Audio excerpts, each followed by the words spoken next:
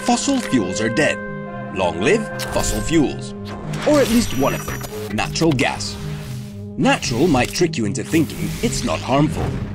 The oil and gas industry sure wants you to see it that way. According to the Energy Watch Group, switching from coal and oil to natural gas accelerates climate change through alarming methane emissions. In a manifestation of climate hypocrisy, Brussels and our European governments say they are phasing out gas. They are not. New gas projects worth 104 billion euros are underway. Capacity for LNG terminals is to be increased by 54%, and an extra 12,842 kilometers of pipelines are coming down the line.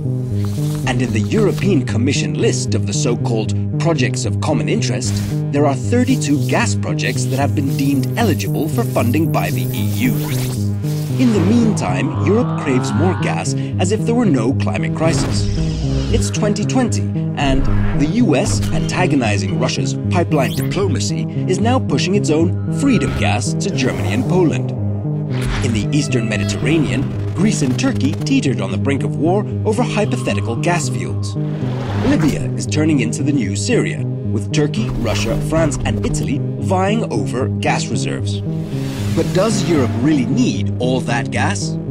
As early as 2015, the European Court of Auditors said that the Commission repeatedly overestimated future gas demand. So who decides whether Europe needs more gas or not? The EU officially relies on the estimations of a lobby group, it's ENTSO-G, a network of Europe's gas operators that determines how many pipelines are needed. Marketed as the bridge fuel, gas is now supposed to carry the world on its shoulders until a clean solution such as hydrogen can take over. But guess who are the members of the new Clean Hydrogen Alliance? Once again, it's solely industry representatives that will tell the European Commission which projects are needed. The greatest trick the gas industry ever pulled was convincing the world that even a hydrogen future cannot exist without gas. By making sure, in other words, the bridge extends to eternity.